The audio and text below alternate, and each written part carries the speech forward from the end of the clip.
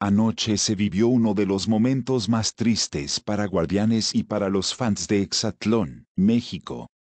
Y es que luego de la lesión en el hombro que sufrió Jairo Campo en el circuito del laberinto, y tras la revisión médica correspondiente, se definió que el clavadista debía abandonar la competencia.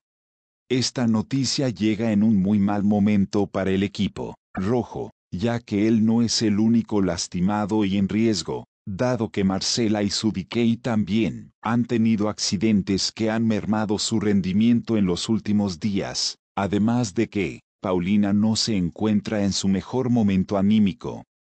De acuerdo con Rosique, tras la caída, Jairo Campos sufrió una rotura de ligamentaria en su hombro izquierdo, la cual requiere de un tratamiento y atención mayor como lo es una cirugía.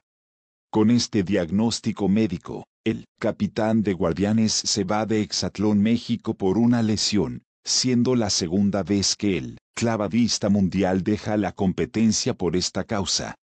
Antonio Rosique confesó sentir una gran tristeza por su partida, pues dijo que Ocampo es un puntal dentro del equipo rojo, un gran líder y que su equipo lo echará de menos, así como el resto de los participantes. Después de estas palabras, el conductor del reality le pidió a Jair que expresara su sentir ante esta salida y Jair no desaprovechó la oportunidad para dejar un mensaje a conquistadores.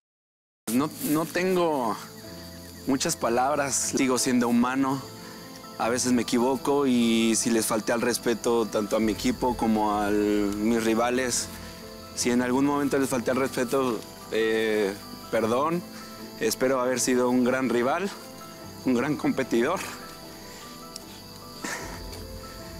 Y,